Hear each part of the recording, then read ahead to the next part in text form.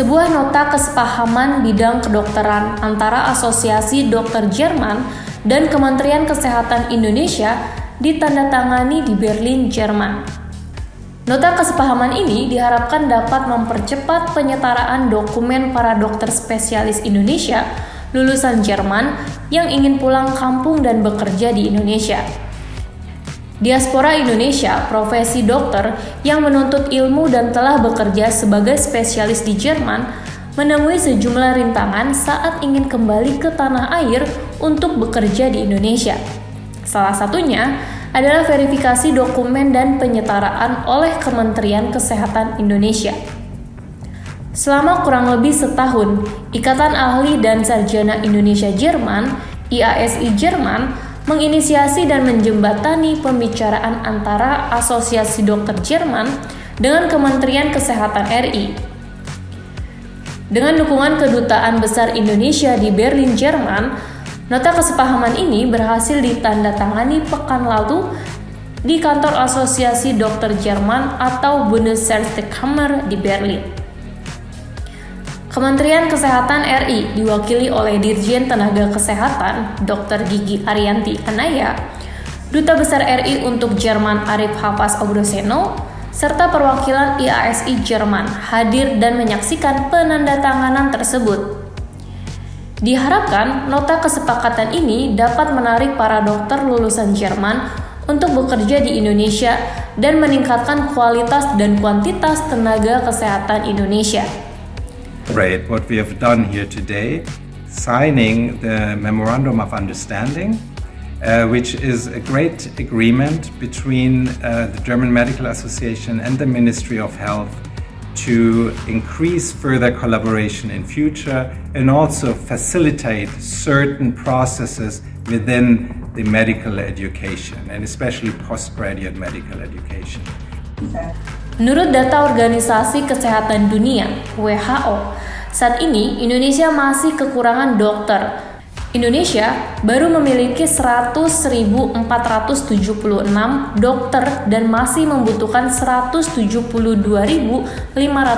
dokter untuk melayani 273 juta penduduk Indonesia.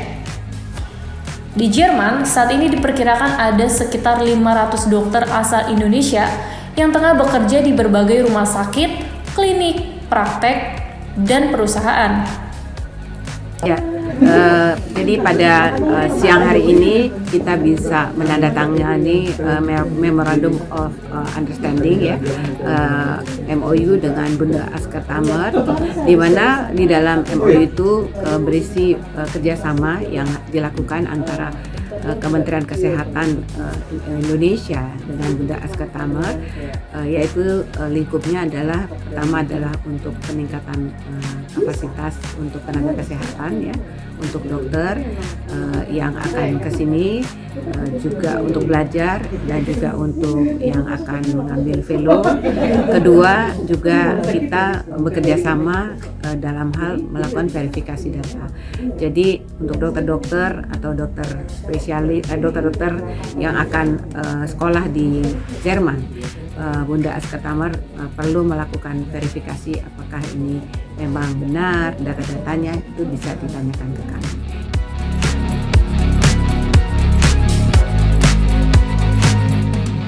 kesalahan atau ada per, um, um, problem dalam penyetaraan dokumen-dokumen tersebut. Jadi teman-teman yang dari sini, di mana kami di sini menganut hospital base untuk kembali ke Indonesia di mana di sana masih university base itu terjadi um, apa namanya problem dalam penyetaraan dokumen-dokumen tersebut. Nah, uh, tentunya ini adalah problem yang sebenarnya nggak terlalu besar sebenarnya kalau dilihat di mana tentunya harus ada uh, komunikasi antara Indonesia dengan Jerman. Nah, kami melihat ini bahwa ini sebaiknya perlu dijembatani karena tentunya teman-teman di Indonesia mungkin belum mengerti bagaimana uh, sistem di sini dan itulah yang membuat kami mengatakan yuk mari kita perkenalkan uh, Universitas Kamar Hospital uh, yang bersifat hospital based di, di Jerman dengan university base yang ada di Indonesia. Dan dari itu kita mulai mengadakan perkenalan dengan uh, Bunda Kamar. Kemudian kita memperkenalkan memperkenalkan Bunda Kamar dengan kepada Kemenkes dan akhirnya alhamdulillah terjadi pertemuan dan kita membahas secara bersama problematik-problematik yang ada dan alhamdulillah bisa tersebut bisa dibuatkan MOU dan akhirnya uh, kita tangani hari ini. Dari Berlin, Jerman, Miranti Hitchman, TV One mengabarkan.